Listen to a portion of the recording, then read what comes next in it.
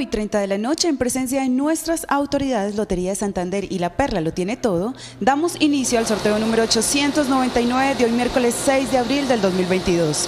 Y nuestro número ganador para Culona Noche es